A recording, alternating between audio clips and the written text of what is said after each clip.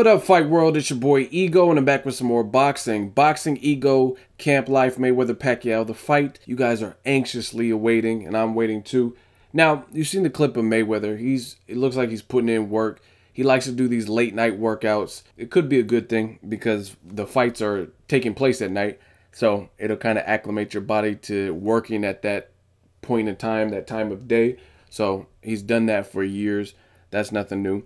But it looks like he's putting a, a extreme focus on going to the body, and he was looking more aggressive than I've seen him in the past on the heavy bag. So all good signs from both camps, really.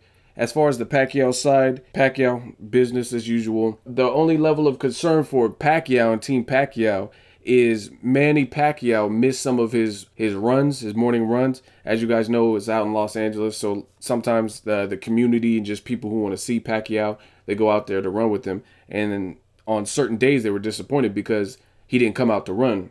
And according to Justin Fortune, he did an interview with USA Today, and Manny Pacquiao is having leg cramps, and this is something that's plagued him in the past.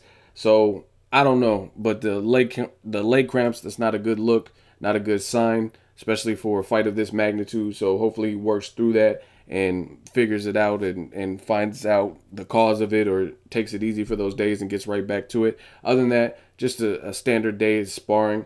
He did get a visit by ESPN and in other Mayweather Pacquiao news, in case you guys did not know, Justin Bieber, they just did a celebrity roast on him. He's going to be escorting Mayweather out ringside or walking him, doing the ring walk. So I know you guys love Bieber so much.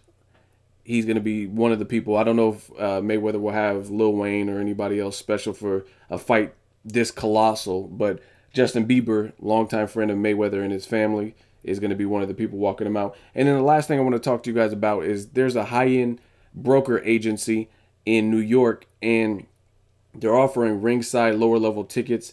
And these are the prices, y'all. These prices are absolutely absurd and ridiculous. You have to be loaded to get to the Mayweather Pacquiao fight. It's absolutely ridiculous. And you guys can see the highs.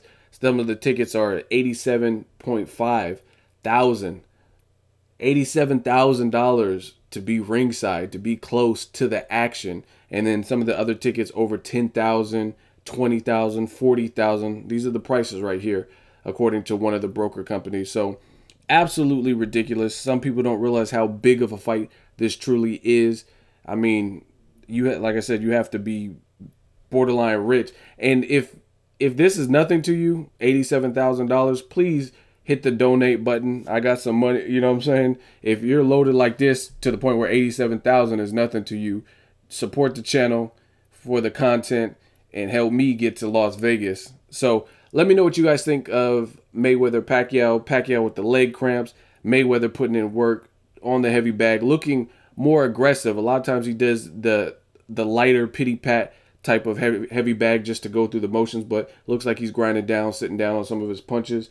And again, that's what I like to see. Drop me a comment. Let me know what you guys think. Day 25, Boxing Ego Camp Life. What's next? Let me know what you think. Make sure you like my video as always. Hate, comment, and subscribe. Till next video is Ego signing off.